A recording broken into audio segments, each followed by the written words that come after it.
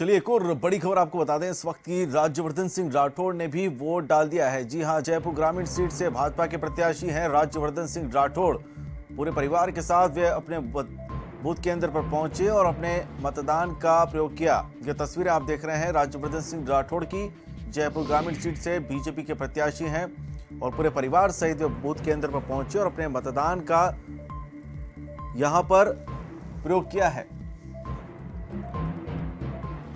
तो लगातार हम आपको तस्वीरें दिखा रहे हैं। जयपुर शहर से, जयपुर ग्रामीण से ये तस्वीरें आपको दिखा रहे हैं।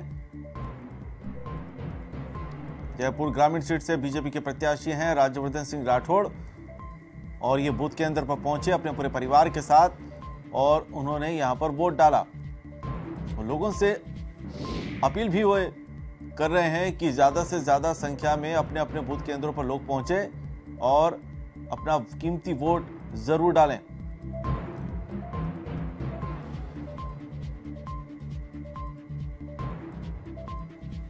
हालाँकि प्रदेश भर की बात करें तो कई जगहों पर ईवीएम में गड़बड़ी की शिकायतें ज़रूर मिल रही हैं, लेकिन उन्हें दुरुस्त कर लिया गया है। कई जगहों पर मतदान जो है वो देरी से भी शुरू हुआ है।